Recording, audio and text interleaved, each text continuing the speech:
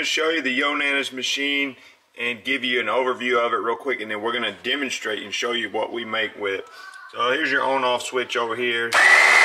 Turn it on. This is the piece you're going to use to press it down, press the fruit down so you put the fruit in there.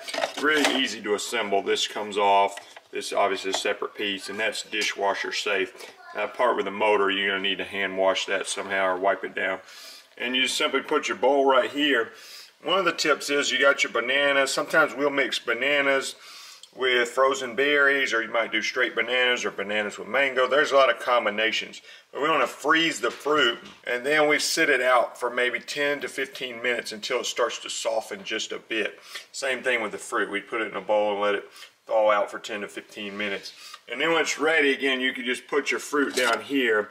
The bananas, the berries, you can do some bananas, then berries and kind of layer it, or bananas and mangoes and layer it. Whatever combination you want to use. The fruit is in there and it's running, you're going to press down here and the fruit comes out here with the texture similar to that of ice cream. So let's demonstrate, but we love this thing. My kids love it and my kids are actually able to to use it on their own. Sometimes we'll have toppings to put on there, whether granola or peanut butter or strawberries or even more bananas or apples you can see, nuts, things like that you can use to use as a topping for you.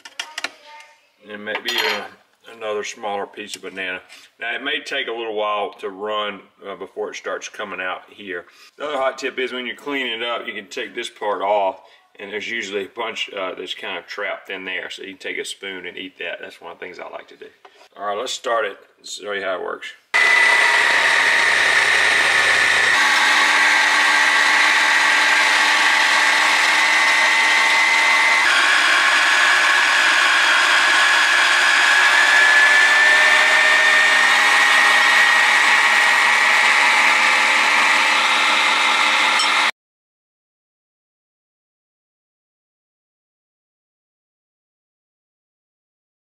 There's the finished product. We can top it off with the toppings and it tastes great.